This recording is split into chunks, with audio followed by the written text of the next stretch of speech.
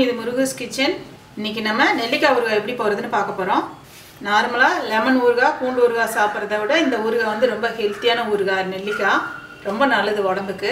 வாங்க இப்போ எப்படி சேர்த்துன்னு பார்க்கலாம். இந்த ஊறுகாய்க்கு நான் ஒரு பத்து நெல்லிக்காய் எடுத்திருக்கேன். இதை ஃபஸ்ட் நான் வேக வச்சிடலாம். குக்கர் எடுத்துட்டு கொஞ்சமாக தண்ணி அடியில் அது மாதிரி தண்ணி விட்டுட்டு இது மேலே வச்சு நான் வேக வைக்க போகிறேன் நெல்லிக்காயை. இந்த மாதிரி ஹோல்ஸ் இருக்க தட்டில் எடுத்திருக்கேன் நான்.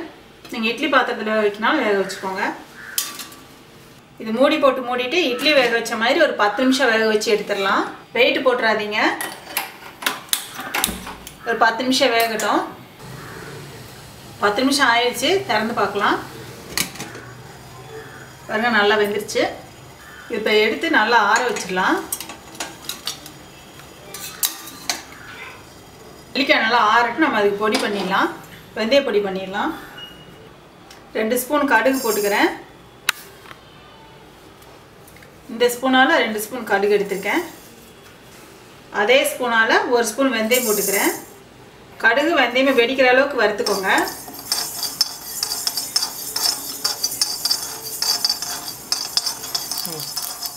கடுகு வெந்தயம் நல்லா பொரியுது பாருங்கள் இந்த ஸ்டேஜில் நம்ம எடுத்துடலாம். எடுத்துகிட்டு ஆற வச்சுட்டு பொடி பண்ணிடலாம்.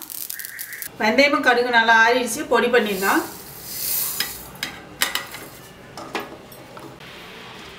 பொடி பண்ணியாச்சு. நெல்லிக்காய் நல்லா ஆறிடுச்சு நம்ம அந்த கொட்டையெல்லாம் எடுத்துடலாம். இது பாருங்கள் நல்லா வெந்து நல்லா இதுவாக இருக்குது இது மாதிரி உள்ளே இருக்க கொட்டையை எடுத்துகிட்டு இந்தமாரி தனித்தனியாக எடுத்து போட்டுருங்க.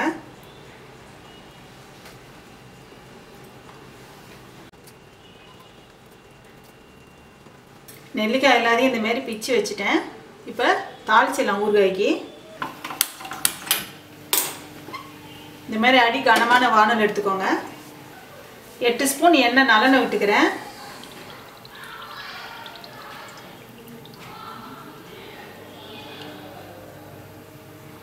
எண்ணெய் நிறைய விட்டால் தான் ஊறுகாய் கெடாமல் இருக்கும் ரொம்ப நாளைக்கு. ஒரு ஸ்பூன் கடுகு போட்டுக்கலாம். ஒரு ஸ்பூன் பெருங்காயம் போட்டுக்கிறேன். இதில் கொஞ்சமாக மஞ்சத்தூள் போட்டுக்கிறேன். கடுகு நல்லா வெடிச்சிடட்டும். இதில் இப்போ நம்ம நெல்லிக்காய் போட்டுடலாம்.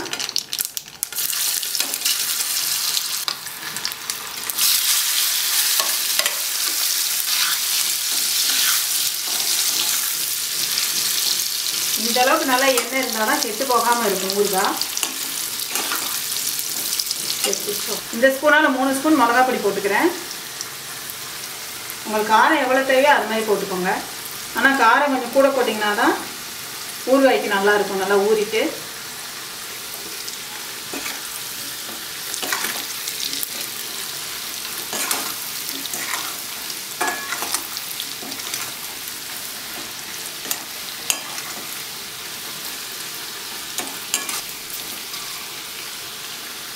ஸ்டவ்வை சிம்லேயே வச்சுக்கோங்க. இதுக்கு ஒரு ஸ்பூன் உப்பு போட்டுக்கிறேன்.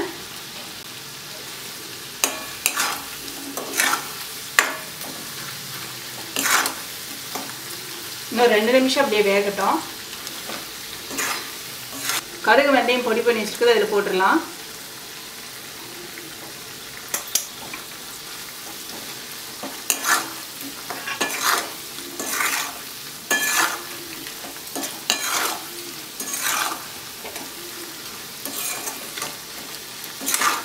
நான் கொஞ்சமாக பண்ணுறதுனால இதில் வினிகர் ஊற்றலை நீங்கள் கொஞ்சம் அதிகமாக பண்ணுற மாதிரி இருந்துச்சுன்னா வினிகர் சேர்த்துக்கோங்க. ரொம்ப நாள் கெடாமல் இருக்கும் அது. இப்போ நல்லா எண்ணெய் கக்கி நல்லா வந்துருச்சு. இப்போ ஊறுகாய் ரெடி ஆகிடுச்சு நம்ம எடுத்துடலாம். கொஞ்சம் ஆறட்டும். பாட்டில் போட்டு வச்சிடலாம்.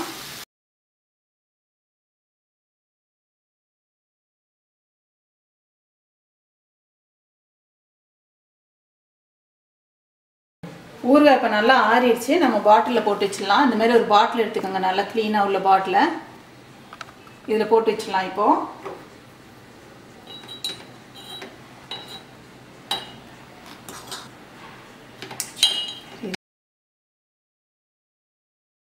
இது மாதிரி ஒரு பாட்டில் எடுத்து போட்டு வச்சுங்க. பாட்டிலே போட்டு வைங்க. பிளாஸ்டிக்கில் இதெல்லாம் போட்டு வச்சிடாதீங்க. அது ஒரு மாதிரி பிளாஸ்டிக்கில் போட்டு வச்சிங்கன்னா நல்லதும் கிடையாது. பா ஊறுகாயெல்லாம் வந்து ஜாடி இது மாதிரி பாட்டில். இந்த மாதிரி தான் போட்டு வைக்கணும்.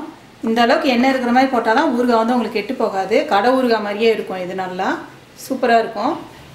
நம்ம வந்து ஊறுகாய் வந்து சிம்பிளாக ஒரு பதினஞ்சு நிமிஷத்துலேயே பண்ணிடலாம் ஊறுகாய் வீட்லேயே. கடையில் வாங்குறத விட வீட்லேயே நீங்கள் ஊறுகாய் பண்ணி வச்சிட்டிங்கன்னா ரொம்ப நல்லாயிருக்கும் நல்லதும் கூட. நீங்களும் வீட்டில் இதை ட்ரை பண்ணி பாருங்கள் இந்த வீடியோ பிடிச்சிருந்துச்சின்னா லைக் பண்ணுங்கள் ஷேர் பண்ணுங்கள் முருகஸ் கிச்சனுக்கு சப்ஸ்கிரைப் பண்ணுங்கள்